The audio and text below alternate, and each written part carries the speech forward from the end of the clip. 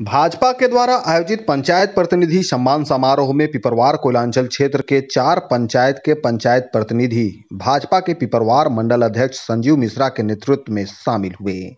सम्मान पाने वाले पंचायत प्रतिनिधियों ने बताया कि पंचायती राज व्यवस्था झारखंड में लागू होने के बाद पहली बार किसी राजनीतिक पार्टी के द्वारा पंचायत प्रतिनिधियों को सम्मानित करने का कार्य किया गया है, जो काफ़ी सराहनीय है। सम्मान समारोह में शामिल होने वाले पंचायत प्रतिनिधियों में किस्टो पंचायत की उप मुखिया ललिता देवी, पंचायत समिति सदस्य सुनीता देवी, पंचायत समिति सदस्य ईना कुमारी, बहेरा पंचायत की मुखिया रेखा कुमारी,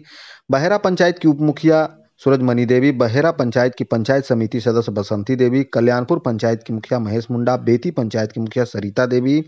बेती पंचायत की उप मुखिया किरण देवी, पंचायत समिति सदस्य अनुप्रिया समेत अन्य का नाम शामिल है। इस अवसर पर धनराज भोक्ता राथा देवी,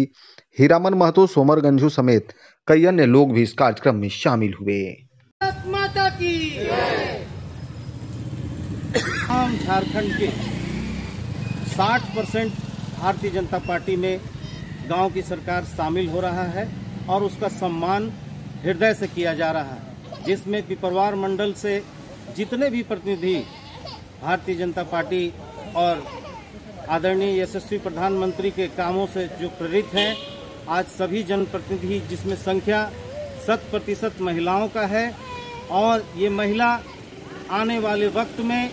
अपने सांसद, विधायक और गाँव के प्रतिनिधि, मुखिया सब एक ताकत बनकर सर्वांगीण विकास, किचटो,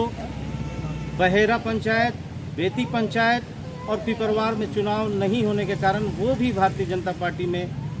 यहाँ के बचरा दक्षिणी के मुखिया हम लोग के साथ हैं और हम लोग एक ताकत बनकर विकास की ओर अग्रसर होंगे। इसमें भारतीय जनता पार्टी के सभी शीर्ष नेतृत्व की तरफ़ से आभार व्यक्त करते हैं और भारतीय जनता पार्टी में इनको सम्मान पूर्वक इनके हर दुख, सुख और विकास कार्य जो भी होगा, उसमें हम लोग सकारात्मक भूमिका निभाते हुए एक ऐतिहासिक मंडल बनाएँगे। जिसमें सभी पंचायत का विकास हो इसको सुनिश्चित करेंगे। धन्यवाद वंदे